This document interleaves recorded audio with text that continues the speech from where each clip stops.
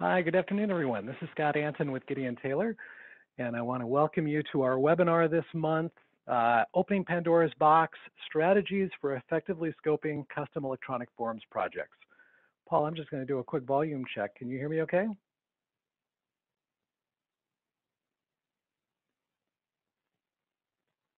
Paul, are you able to hear me? First, I have to find my unmute button. Yes, I can hear you just fine. Thanks. Very good. Thank you. If you want to go ahead and uh, flip to the next slide. Uh, let me first take care of a little bit of housekeeping. We are recording this session and we will be sending out a link to the recording following today's webinar, so you can go ahead and review it at your leisure. Um, as, a, as a point of introduction in terms of understanding Gideon Taylor, um, we have been working with PeopleSoft for many years. We actually started as a PeopleSoft consultancy back in 2001, and uh, over the last 19 years now, our focus has really grown to helping organizations drive more value out of their existing PeopleSoft systems. Uh, and we do that primarily through helping them revolutionize business processes, uh, optimizing and automating business processes that PeopleSoft doesn't typically do or doesn't do the way that you would want them to do. Um, so our mission is to help organizations revolutionize business processes through a variety of different strategies, tools, and techniques. And our vision is to help our clients work simply, effectively, efficiently, and flexibly. There are three logos on that slide that Paul just advanced beyond. So I just want to mention uh, we are a longtime Oracle Gold partner, and our tool, GT eForms, which you'll see a little bit about this afternoon, uh, is uh, Oracle certified for PeopleSoft. Uh, as far as we know, it's the only forms tool and self-service application developer that is uh, certified and validated for PeopleSoft. Next slide. Uh, we have worked with a lot of organizations over the last 19 years. Uh, all of the ones represented on this slide, as well as dozens more, uh, we've worked with to help them, again, optimize and automate unique and custom business processes uh, throughout PeopleSoft HCM, Campus Solutions, and Financials. Next slide. That includes a variety of both delivered tools within PeopleSoft as well as our own GT eForms for PeopleSoft. Uh, that includes activity guides, guided self-service, PeopleSoft forms and approval builder, and custom development with the, with the approval framework. Our approach is to really adopt a best of breed approach. So looking at each organization's unique requirements for whatever business process or business processes they're looking to automate, uh, and then selecting the right tool and the right approach to match that and achieve whatever their objectives might be. This is our, uh, our quick cheat sheet uh, in terms of takeaways on the GT eForms tool. And Paul will be showing you a couple of quick examples as part of our discussion this afternoon of what GT eForms can look like. I mentioned already that it is Oracle validated. Uh, it is 100% PeopleTools based. So in terms of GT eForms, there's nothing foreign within GT eForms that doesn't already exist within your existing PeopleSoft environment. It is predominantly a configuration-based tool for both form creation and form management so that as your self-service requirements change over time, the way that you want pages to, display, the kind of business logic that's governing uh, form behavior or self-service behavior, as well as your approval framework, your approval routing requirements, all of those things, or I should say many of those things are configurable uh, and can be managed and maintained by business analysts. You've got native real-time access to all of that PeopleSoft data, including employee data, student data, finance data. You're taking advantage of your existing PeopleSoft workflow, security, and infrastructure. You have unlimited flexibility in how these solutions look, how they behave, what they do, how they route, and then what happens to the data when they're done. Uh, and they are mobile. Uh, you have the option within the setup pages within GT eForms to select whether or not you want your form to display as classic or as fluid. So one of the really powerful capabilities of GT eForms is that it can automatically generate fluid self-service applications with zero fluid development. It is all configuration based. Next slide. We've got a couple of upcoming webinars, and we certainly invite you to join us for those. Uh, we host these on a monthly basis. Uh, upcoming in March, we have one focused on page and field configurator. Uh, April, we are focused on uh, enabling external participants to engage with PeopleSoft workflow So if you've got people outside the organization that are not PeopleSoft users, vendors, uh, parents in terms of like financial aid forms for universities, uh, candidates, uh, other folks that might not be PeopleSoft users within your database, uh, we'll show you how you can enable that. And then finally, uh, in May, PeopleSoft Visualize, getting the big picture with Pivot Grids, Analytics, and Kibana, getting your arms around an enterprise-wide view of uh, forms, transactions, and other self-service transactions through Pivot Grids and a variety of other analytics tools delivered within PeopleSoft. Next slide. All right, Paul, I'm going to go ahead and hand it over to you. That's my part of the show. Take it away. Very good. Thanks, Scott. So uh, we just did some welcome and some introductions. And uh, this is a, just a look ahead at the session. We're going to be uh, doing a little bit of strategy discussion. We'll be doing a lot of, uh, of looking at specific solutions. The overall question is that we're trying to answer is, well, how do you scope an automation an automation project in PeopleSoft? How do you figure out how much time, how, how many resources, how much cost is going to be to do electronic forms automation or really any uh, workflow based automation project? So that's what we will be talking to and hopefully get through the, the many pieces of info that we've got lined up for you here. So uh, it should look a little bit like this. Um, how to actually, I don't know, we, we actually stole this, Scott stole this from a different, uh, a different PowerPoint deck. I don't know that we've got a ton of how to in there, probably a little bit less than that. But uh, if you replace how to with big picture, then that I think makes sense. Uh, shameless plugs we've already covered most of. Gratuitous infographics, this is the only one. Uh, well, I, I don't know, maybe you can call Scott's animation here next slide a gratuitous infographic. And I don't know if it's actually, if you can hear the, uh, the sound that is uh, included, but I don't know if any of you have played BurgerTime back in the 80s. There were some of us uh, Gen Xers who were around for uh, for BurgerTime, but uh, we're going to follow that model today to uh, to look at electronic forms automation as if we're building a hamburger, and uh, and kind of split up the uh, split up the possibilities into four different levels, and uh, and specifically, we're talking about electronic forms automation. Now, we're talking about electronic forms automation in terms of a, uh, a form that you put together inside of PeopleSoft that includes gathering information, routing to recipients, and, uh, and then possibly updating PeopleSoft on the back end. And then the question is, well, okay, how long is it going to take to build one? So the tool, this could be our tool, GT eForms. This could be custom development.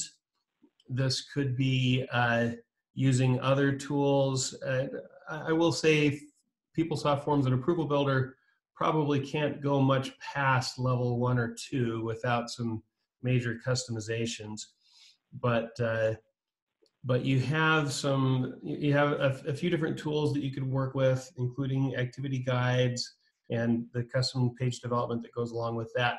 Either way the uh, the comparative scoping is about the same as in level one you know, what's what percent of uh, of the development time is level one compared to level four? GT eForms we're very confident is the fastest way to build robust electronic forms applications inside of PeopleSoft. So we will be talking on that basis. I just want to mention up front that it is that these concepts are applicable to whatever tool you end up using. So to begin with, level one, we'll talk about, we're talking about a form that sticks fields on a page, doesn't have any grids, has simple valid value lists for the fields, and may have some simple conditional form behavior, uh, hide a field, unhide a field, simple approval routings with, uh, with not a whole lot of conditional routing or ad hoc routings, and no updates to PeopleSoft data. So I hope actually that all of you have some requirements in mind that you might think about a form that you're thinking about automating and see what level it fits in. Are you, is this a level one, two, three, or four uh, uh, effort that's going to be required to automate that? And hopefully we'll have a few minutes at the end that you can ask some questions, including about any specific form processes you have. So this level one, uh, does your requirement fit into this? Well, here's an example of what we would consider a level one electronic form. This is a veteran status declaration form that we built uh, as a uh, as a demonstration of potential onboarding forms. So this is out of a list of potential onboarding forms. Here is a mobile version of it. We've got a bunch of text. We pre-populated the uh, the user or the user ID and the name of the participant. We've got some basic conditional logic.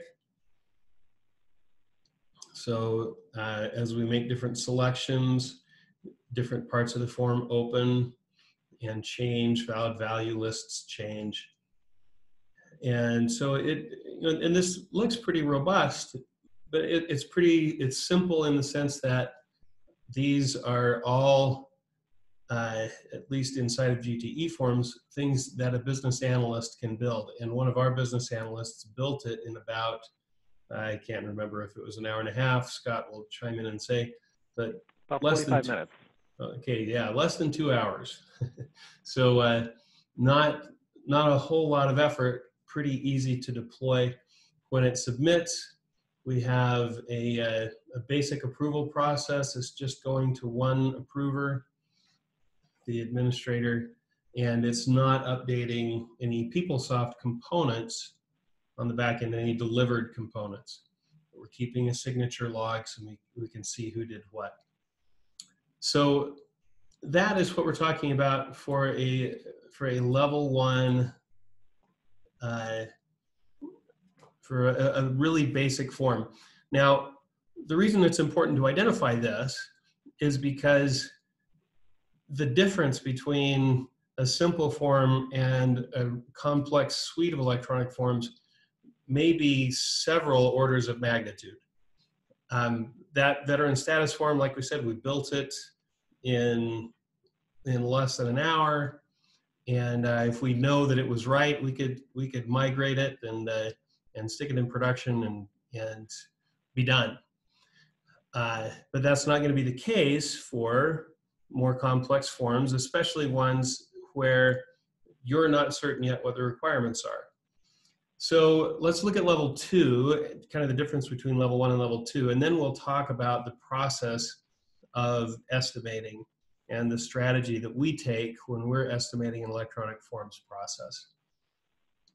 So here, a level two form might have a little, it's going to have a little bit of tech involved. The first level for us in GT eForms had zero tech. That was all business analysts that, that uh, built that form in configuration only. Level two includes some search views. So you can consider if you have to do row level security, you're going to have to determine, well, who am I doing this form for? Or, uh, or what data is this form acting on? And I need to select that up front.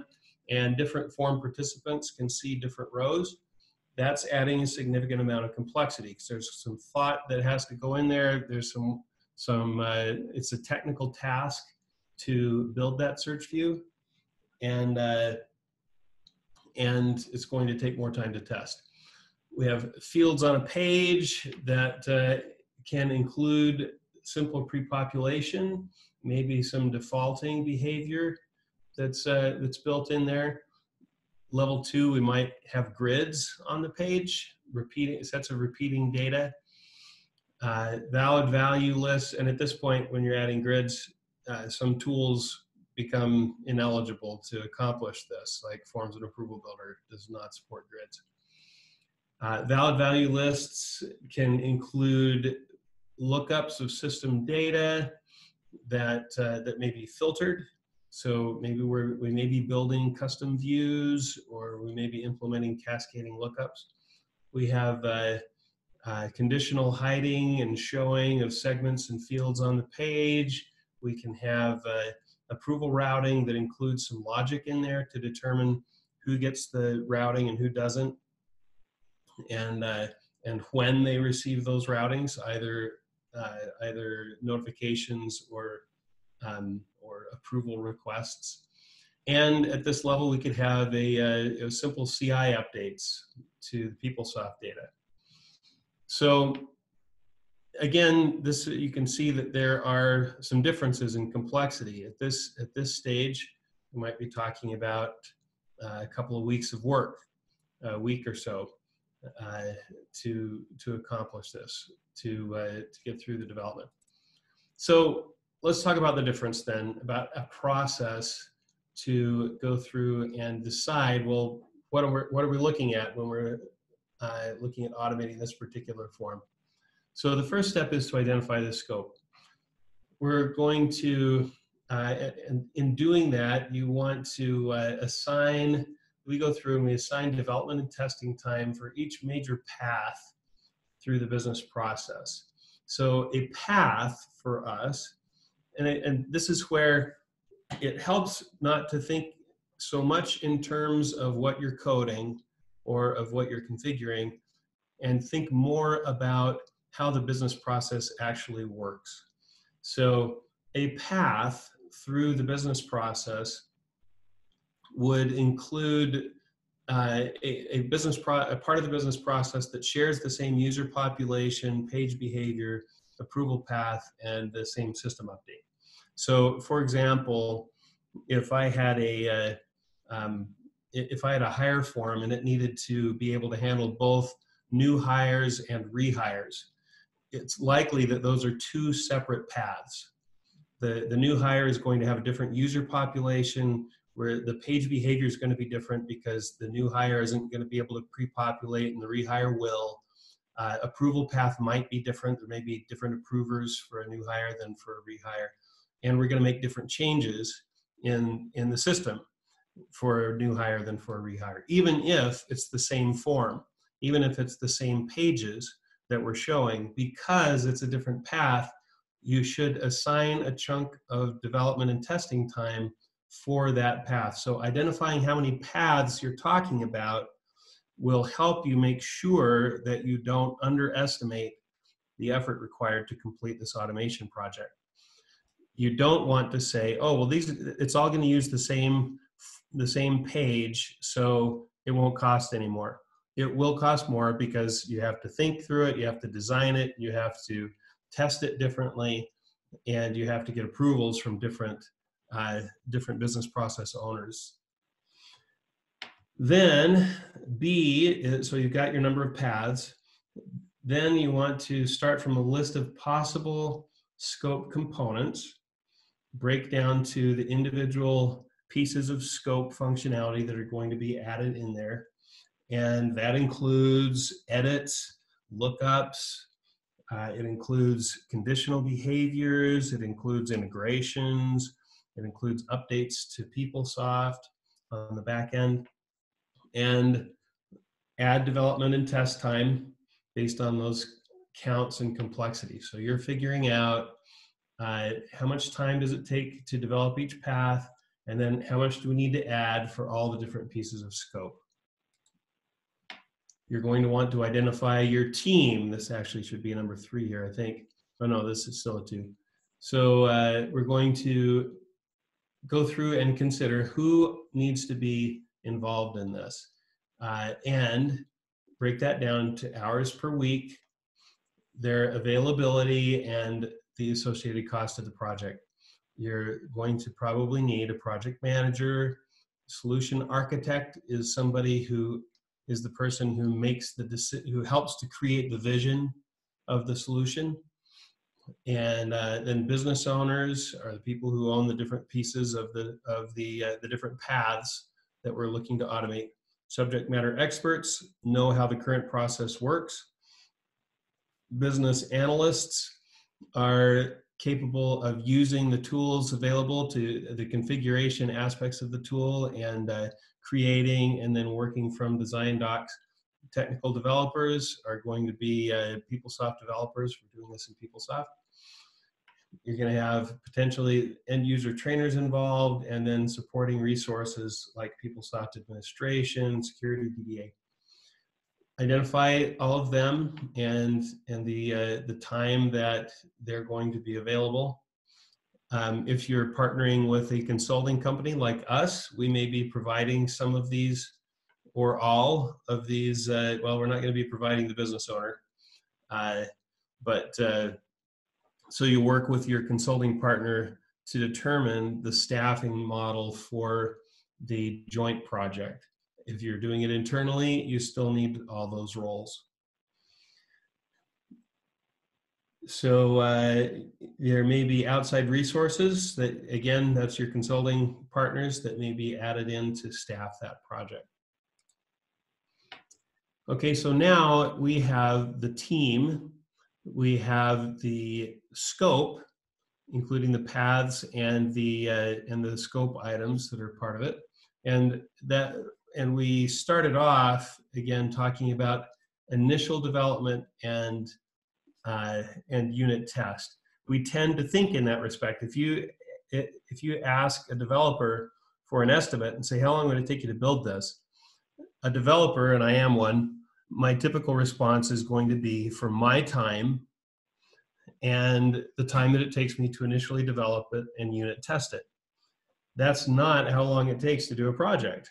And as the developer, I'm not the only person who needs to be involved. So if I if you come and you ask me how long would it take to build this, and I say it's going to take two weeks, you say okay, 80 hours times this person's cost, and that's how much this costs. Well, not necessarily. Who else needs to be involved? What's their cost? And what other uh, stages of the project do we need to go through before we can actually get to uh, production?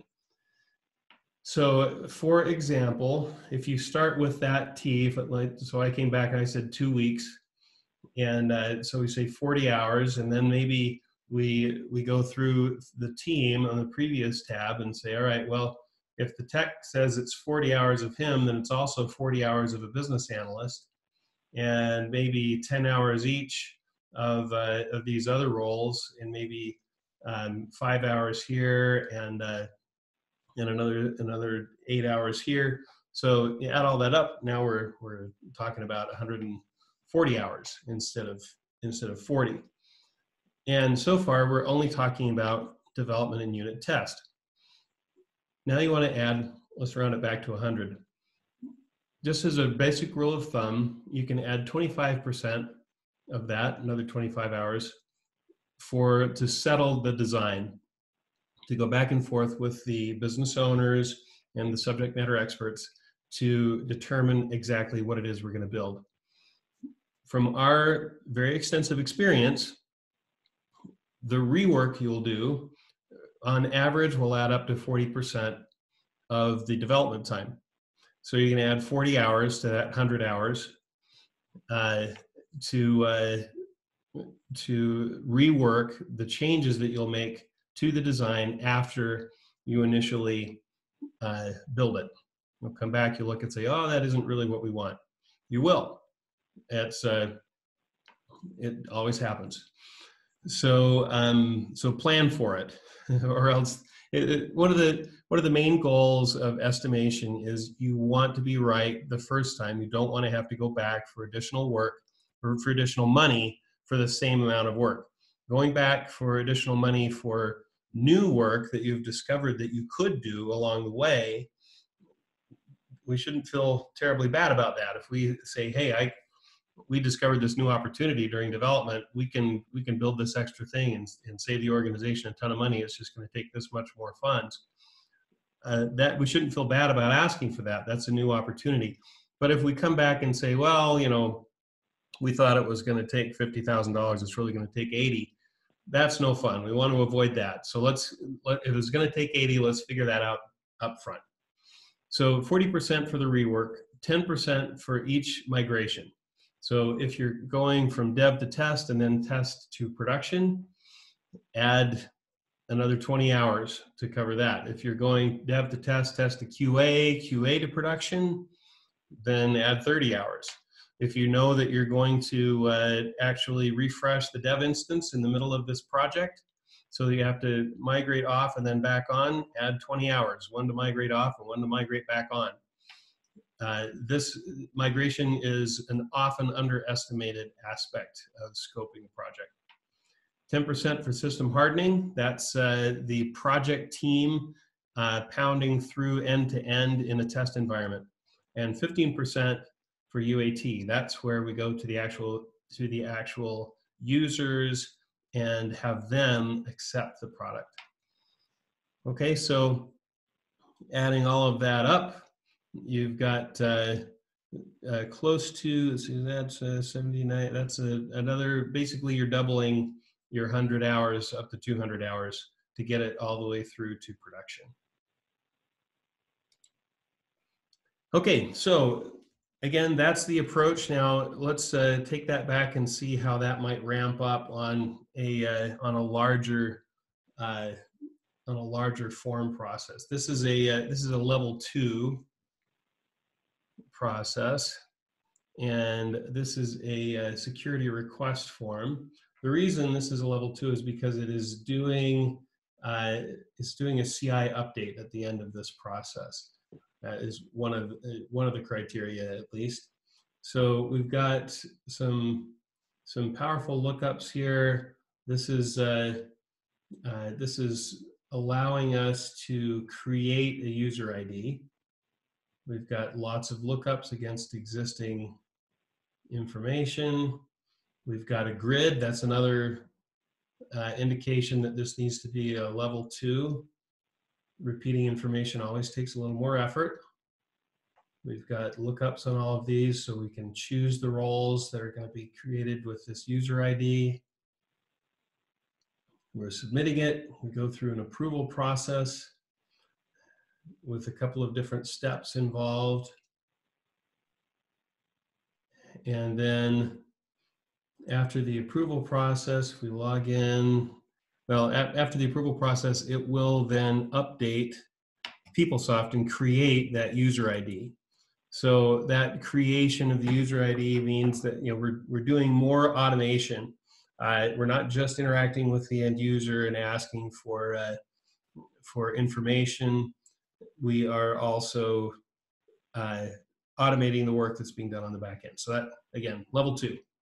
So a couple of thoughts again before we look at level three and four, uh, as you're considering a couple of design considerations.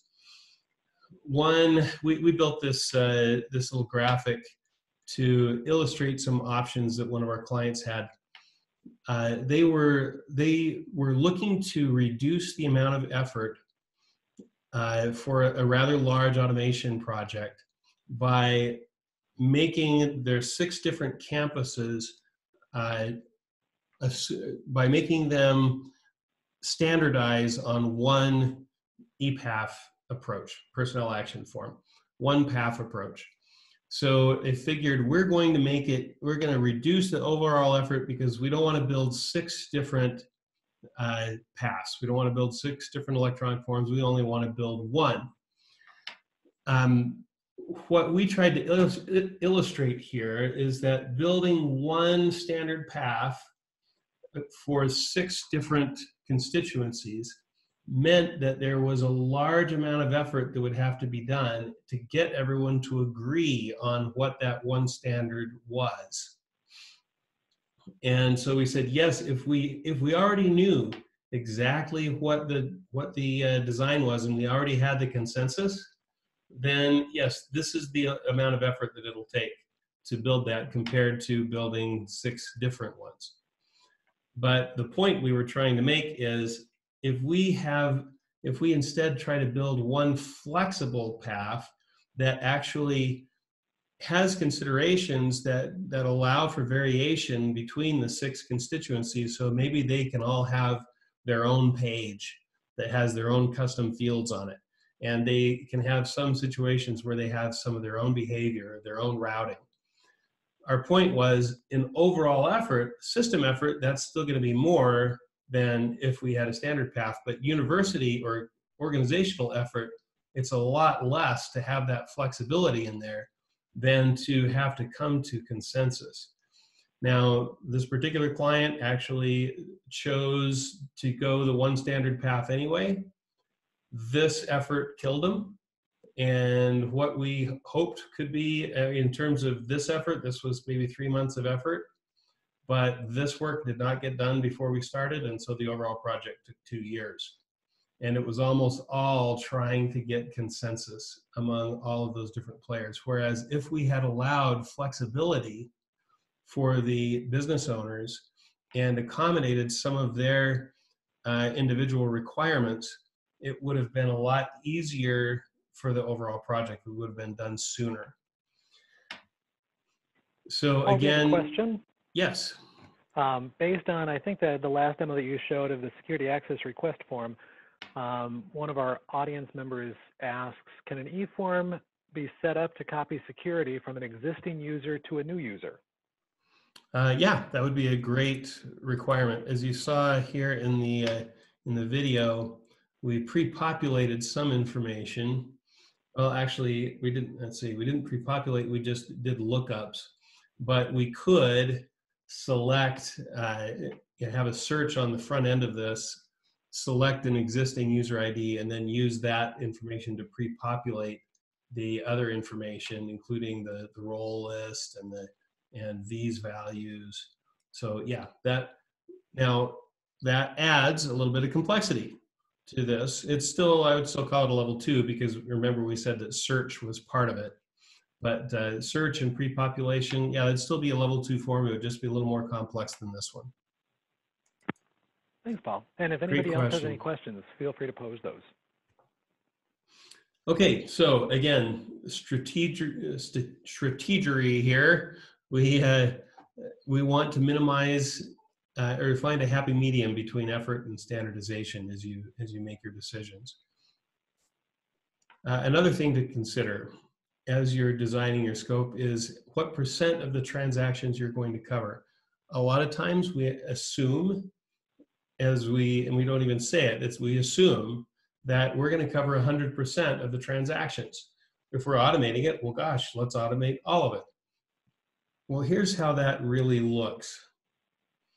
You'll see that my, my uh, gradations here, the, the middle of it is 90%. Okay, so uh, when we come up with this estimate using our process that we've talked about so far, we're talking about the one times and it's probably going to handle about 90% of your business process transactions. Now, if you want to cover 98%, it's probably going to take twice as much time and effort to get that other 8%. If you want to get to 99.5%, that additional 1.5% is going to cost you uh, another two times. You're going to multiply it by two again. And it's now four times what it took to get 90% of the coverage. And of course, these percentages are going to vary per business process. But the illustration is that you don't want to try to automate 100% of your transactions. It is better to automate 90, 95% and, uh, and not complicate the solution with all of these. You know, for example, okay, well, yes, we're we want to do an additional pay form, but sometimes we do additional pay in order to do to cover retro pay processing. And so if I build in a, a, a retro pay calculator to look back and figure out based on how old it is, how much additional work I need to pay them, now we're talking about a whole different thing than just paying additional pay. I'm not saying that it's a bad thing to do, but you may it may be four times more expensive than just automating the collection of additional pay, of an additional pay request. So don't be locked into the idea that you have to automate 100% of the transactions. It's okay to take all of the big workload off of your end users and uh, by automating the easy stuff and then let the let the people do the hard stuff who, uh, and, and, then you can always come back on phase two and, and do some more hard stuff. But there have been many uh, automation projects that have gotten into the weeds because we're fixated on covering every transaction and not willing to leave some of the complex transactions out of scope.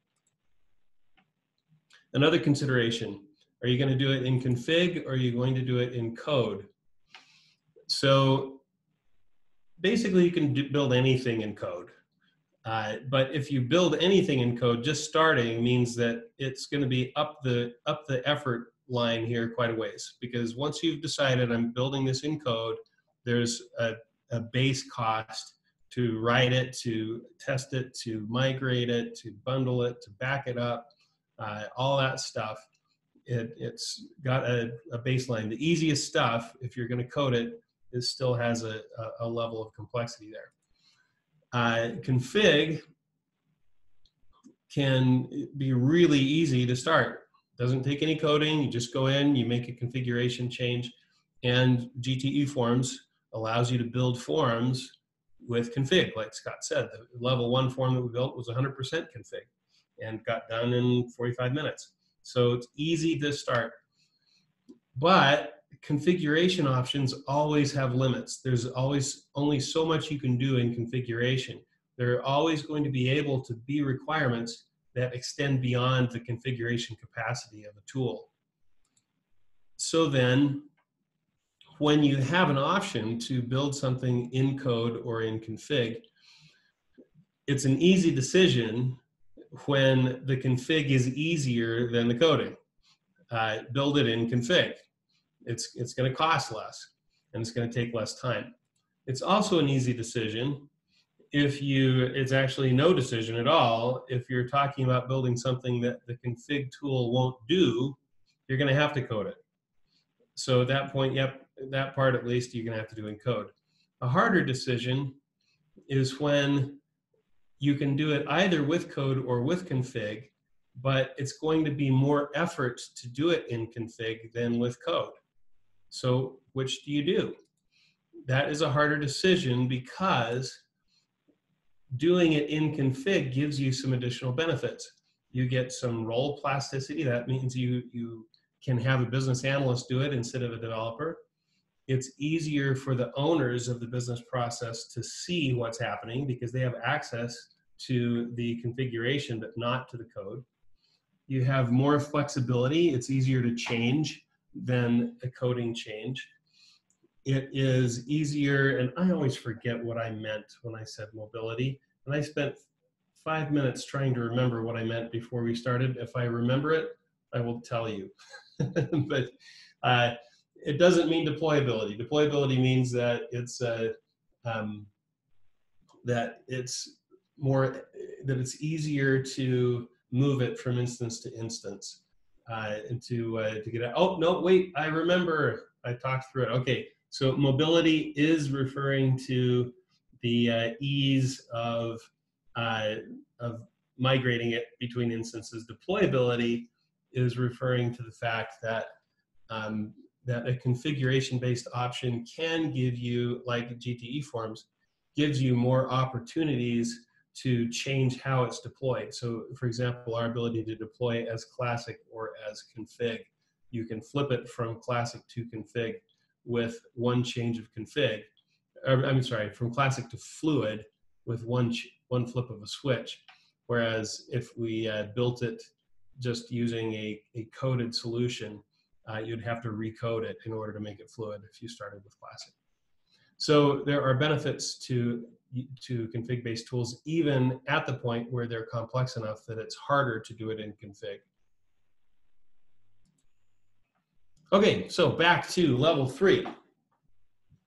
At this point, we're we're talking about uh, about some complex row-level search security views. Um, we've still got our fields on the page that are pre-populating and dynamically defaulting. Pre-populated grids that's an, an additional add. So if we're saying we need to pre-populate a grid and add and have lookups and defaulting behavior on that grid, that's additional that's additional work than the, the level two. if we've got code-based edits and updates on the field, so we have situations where we've got to write code in order to get an edit done, that makes it a level three. Complex conditional form behavior with cascading lookups, that's where one field, you select one field and it changes the valid value list for the next field down and, and on down every field. Very uh, powerful behavior but also takes more effort and uh, more coding of usually custom lookup views in order to accomplish it.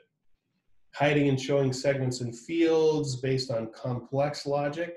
So once you're having to write code in order to make these determinations rather than just uh, using our, for example, our built-in logic engine with GT eForms. Now that's going to take more effort.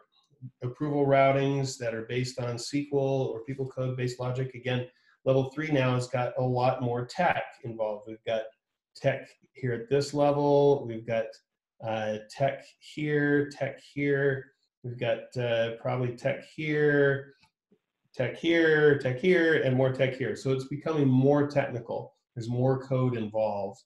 Uh, but we're able to build a very robust uh, solution. For example, this chart field maintenance form. So here we, uh, we have lots of dynamic behavior. We saw this whole thing unhid when we chose create new crosswalk. Each one of these uh, different choices is opening up the opening up different options. We have very complex behavior. A new fund code opens up a, a request for new fund segment that needs to be filled out. Um, as we uh, we've got edits that are involved under a lot of these fields that tell us uh, what valid values are appropriate.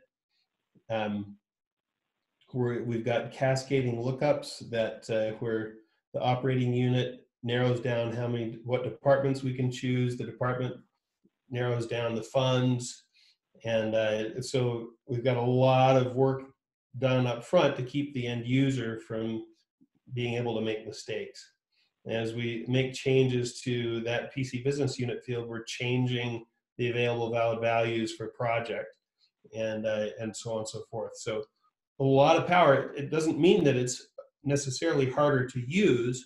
It means that there's been more work at design time uh, and build time in order to help the end user have this experience that's unfolding naturally to them as they're filling out the form.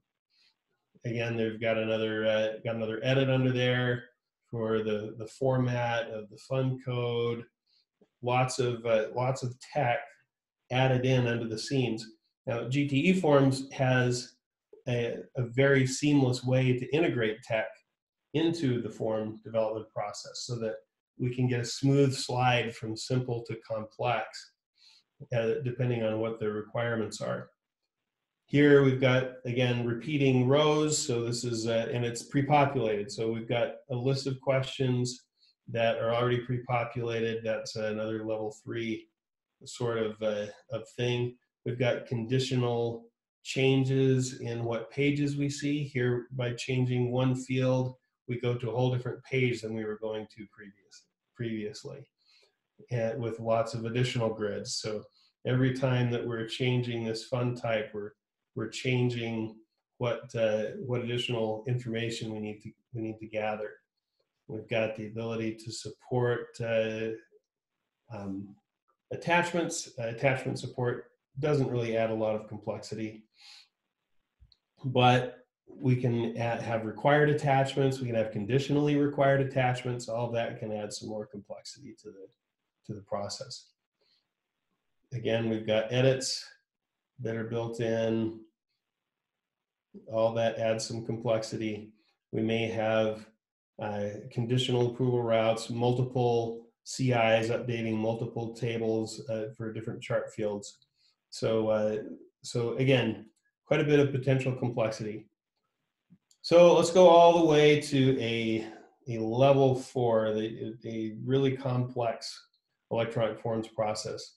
Might have that the scope might include multiple row level security based search views. So I want the uh, I want the self-service users to have one experience, and I want the department uh, administrators to have to see different views, and I want their the approvers to be able to see different views based on role of security, and I want different core office users to see different segments of the organization. All of that can add a lot of complexity to the form. Um, complex pre-population and defaulting from coded sources. So maybe I'm actually using an integration with an external system, with another PeopleSoft instance, or with a uh, or, or, with a web service-based uh, information repository to pre-populate the form. Uh, we've built forms where we pre-populate uh, an electronic form in PeopleSoft based on the based on the uh, data in a ticket in a ticket tracking system like ServiceNow.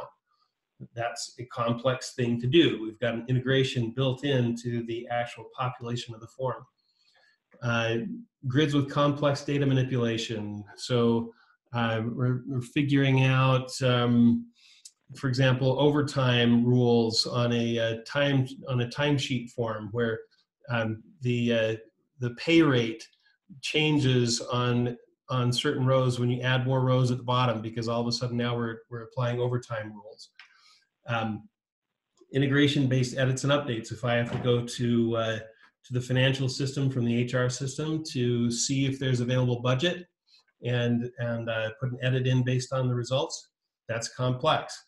We need to make sure that our scoping uh, accounts for that row level security, other complex logic for interdependent lookups. So if I want to look up that only shows me the departments that I have access to or the positions that I have that are in the departments that I have access to and then drive other fields off of that that can get again very complex even though from the form and from the user perspective may not look that much more complex it's all under the scenes hiding and showing segments based on complex logic.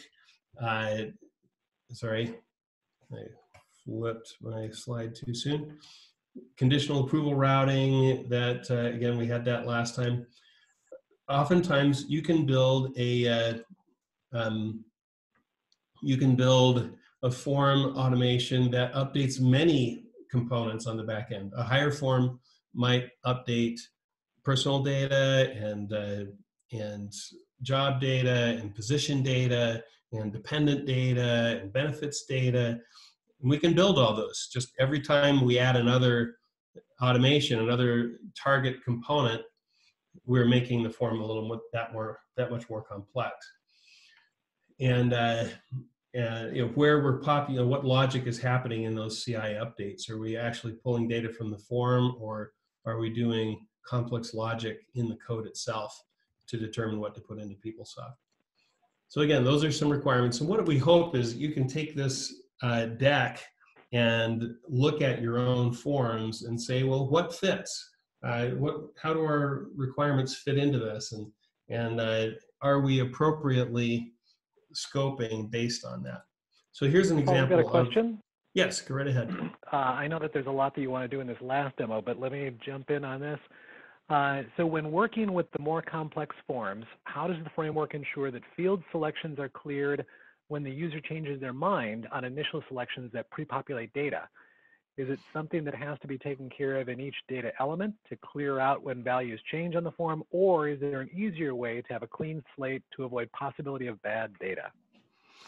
Uh, great question. So there are a number of tools that we use. First off, um, in GT eForms, each field, the the um, you, you could derive the logic by saying, okay, I'm going to have a, a top-down piece of of code that pushes initial data into all the fields. And then if you do that, then every time that can change, you need to have more code to uh, to change that to blank out those initial values and make a change. GT eForms actually allows you to assign the defaulting to the field that's being defaulted.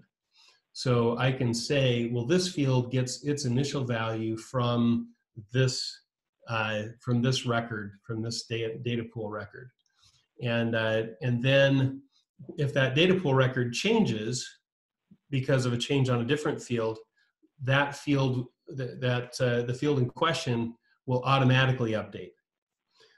So yes, we've got a lot of tools that make that easier to happen. So actually, by hooking all of that up, it just automatically will blank out when the uh, when the, the, user changes one of the default values. Um, there are some situations where, in again, in complex coding situations, where you may have to build code in to go through and, and blank out fields and such forth. But we can actually handle a lot of that robust behavior just based on how we initialize the field and what we say should update that field value. Okay, great question. All right, so uh, just going to run through uh, one more demo here at the end. This is a benefit enrollment form. A uh, that's a, a, very complex business logic piece. You can see lots of pre-populated information, and then opportunities to answer questions. Asking questions is a great way to uh, to interact with the user. If you can drill things down to yes or no's instead of yeses and no's instead of lookups, that makes a big difference. So you can see each of these is is conditionally changing the form downstream from it, asking for additional information based on their answers uh, dependents and beneficiaries. Again, if the answer is yes, we have more questions to ask and more uh, information to answer and, and some edits, and some lookups that, uh, and you can see there, we defined the edge of the scope there. We said, okay, if you're, if you have uh, non-US dependents, then we're gonna take this offline. Uh, it's wise to be able to make the edges happen there. Got lots of uh, lots of data fields here. Ability to add. Uh, again, we've got edits going on, and uh, the ability to add additional additional information. This is all still configuration based. There was no development involved in putting the fields on the pages, but there is a lot of code that's been added underneath and a lot of work to come up with the, uh, the valid values and to make those valid values responsive to, to uh, and cascading. But we're accomplishing a really powerful business process uh, use case here. And, uh, benefits enrollment, uh, and we're, we're looking at a benefits enrollment form that is a configuration based form. We didn't actually have to write any uh, fluid code in order to build this fluid based benefits enrollment form with lots of power underneath there. But again, we don't want to underestimate the fact that it's config does not mean that it's free, does not mean that it's that it's uh, easy, it does not mean that there isn't a lot of work involved to get all the rules put together that you're seeing happen here. All of this conditional behavior that's based on previous entries in the form. It takes a lot of work to do that, a lot of thought, and a lot of agreement between your uh, between your various business uh, business owners and subject matter experts in order to get this kind of uh, a very robust behavior. But this form is actually going to go through all of the uh, enrollment options for a for a major uh, for a major benefit provider. So I've got, as you've seen, lots of edits, lots of pages involved, summary page that shows everything that has been decided, uh, the ability to upload additional documentation, to uh, to support the uh, the business process and action items to kind of gather initials the end of the form and then off we go to actually perform after approvals to uh, actually update the system with all of that information and here we are back in PeopleSoft with that information having been automatically entered. It was initiated by an employee and entered into PeopleSoft with no uh, manual effort required. That is a powerful form. And it's a full burger that uh, definitely satisfies. Again, we've done all this with GT eForms, and uh, and that allows us to build extremely complex forms that uh, or that can be simple for the end user to use and easier to maintain than if we were coding these just by, by from scratch in PeopleSoft. And we got a couple more again, can be mobile, can be mobile without doing mobile development. Okay, let's go to questions. All right, thanks. Uh, so I see you can require attachments. Can you provide materials like the classic PeopleTools forms or approval did? Fluid PeopleTools forms does not have this feature any longer. For example, provide policy documents related to a form action. So basically, the question is, can you provide documents and make documents available for download? Uh, and the answer is yes. You can. Uh, we can pre-populate, for example, the attachments, and uh, and automatically attach a field or a, a document to a form. That's a, a technical process to do that. You can very easily add links, though, to uh, to a form to, for example, to um, any of the the form pages, either in the segment description or segment instructions or the uh, uh, instructions at the top of the page. You can add links that are download links to allow people to uh, to download documents. Um, so yeah, you got lots of flexibility as to how to get a document to somebody. Uh, putting a link in isn't a technical uh, isn't a technical issue. If you can make the document available for download uh, at a place where you can get the URL, then sticking a URL into the rich text of a, uh, of a segment instruction or form instruction, page instruction is easy to do. And then we've got another question here. If anybody else has any to post, uh, feel free to do so. We have another minute and a half or so. Um, does the complex form ever tell where you are in the form? Uh, for example, 80% complete or a step three of six, et cetera. Uh, great question. We do um, have a, uh, a, a completion bar on our classic forms. We haven't actually brought that forward onto the fluid yet, but uh, that's something that we that we uh, could definitely do, and we'll consider that as as a uh, um, consider that as a enhancement request just because you said it. That's some power. There you go. Any other questions? Uh, not right now.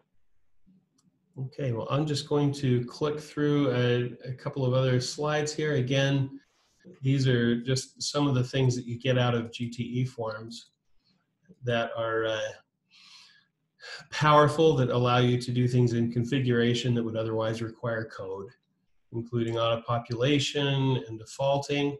Just being able to pre-populate a form without having to do code, that's a, a an amazingly powerful feature uh, that's became available in, in version three of our of our framework. Um, related displays, restricted prompt values, all of that can be accomplished without additional coding.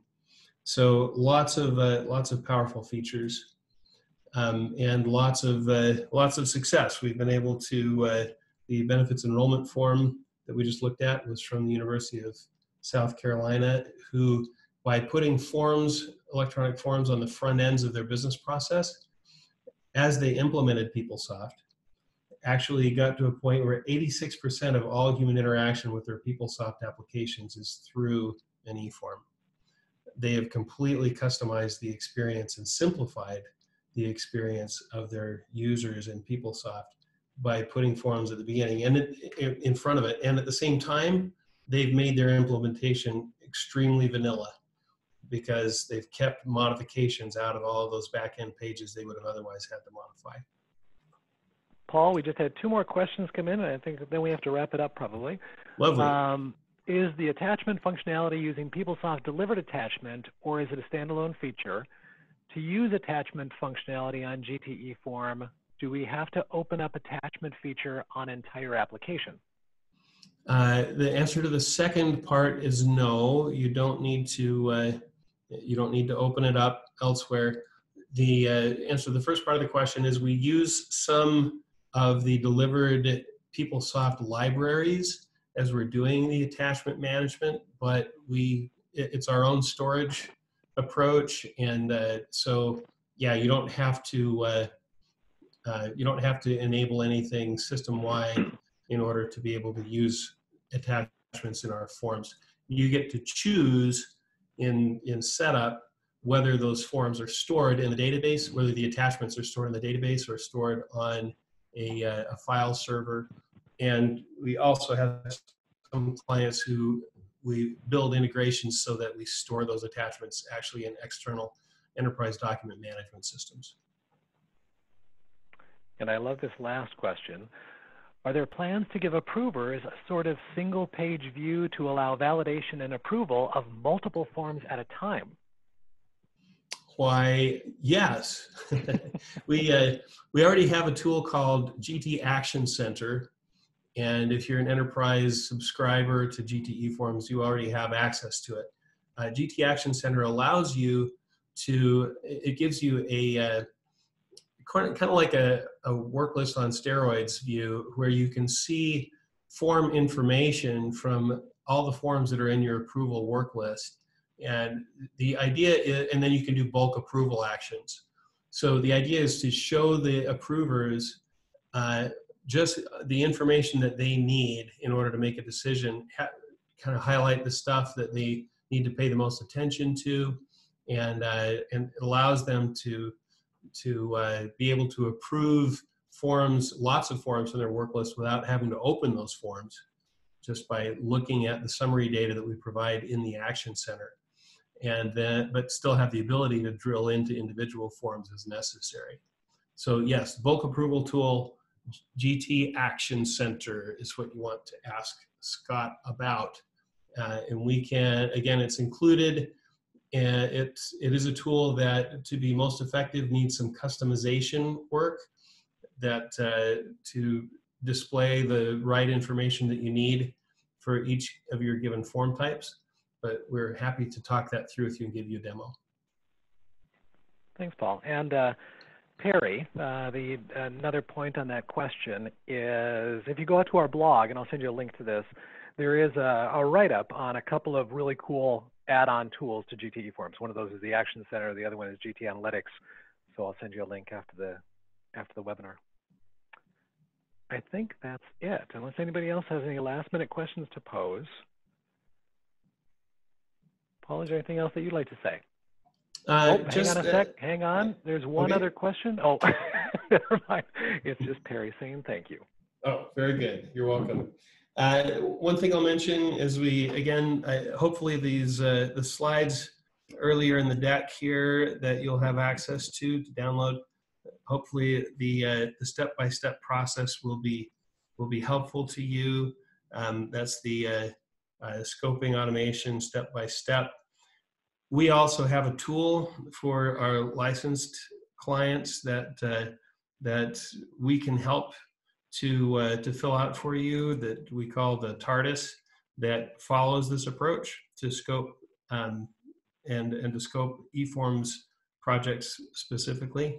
We're happy to help you scope any of your outstanding projects, even if you're not engaging us to help you do it. Um, we're, we're, happy to help with that. So, uh, so again, and we'll we'll use that tool to to help. So feel free to give us a call if we can help in any of those scoping activities for your eForms efforts. Thanks, Paul. And thank you to everyone for joining the webinar this afternoon. You will be getting an email here within the next couple of days with links uh, to view the webinar. And if you have any questions, feel free to reach out to us. Uh, you can reach me at scott at gideontaylor.com. You can also find us on the web uh, via our website and our YouTube channel. There's a lot of great demo videos out there. And join us for any of our future webinars. Thank you very much. Have a great afternoon. Thanks. Thanks, everyone. Bye-bye.